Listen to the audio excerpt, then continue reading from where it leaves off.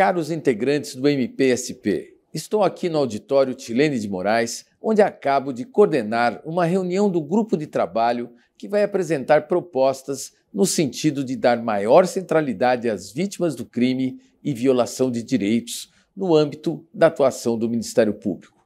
Este primeiro encontro foi bastante animador.